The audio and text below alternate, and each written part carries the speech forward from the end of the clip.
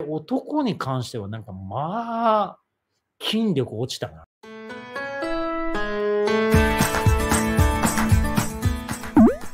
まあ、みんな可愛いな、女の子な。俺のハードルが下がってんのか、世間のレベルが上がってんのか、なんとも言えないんだけど、まあ、可愛い子増えたな。で、男に関してはなんかまあ、筋力落ちたな。うん。男子たち、まあ、筋力落ちてんな。ひょろい子多いな。うん。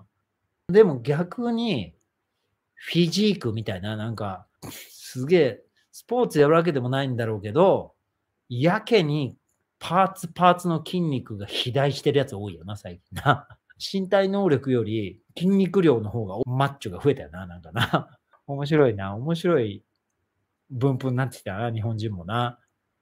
なかなか面白い。重いものを早く動かすとは、きっと体のパーツを一つでも多く使って動かしたいものを軽くするとか加速させるということですかね。いろいろですね。それもその一つだね。重いものを早く動かす。重みのあるものを早く動かすっていうのは、いろんな技術で使う場所を増やすもそうだし、予備動作を入れるとか、うん、動かしたいものを先に動かしておくだったりとか、でも基本的にはたくさんのパーツを使って筋肉をたくさん使って、重みのあるもの、重さをたくさんの筋肉だったり関節の場所に重さを分散させて、重いものが早く、なるべく遠くに長く動くっていう運動を生まれさせるっていう、そういう技術が、スポーツのどんな動きにも対応できる基礎的な考え方なので、俺のね、そのあたりには秘密はたくさんあると思いますね。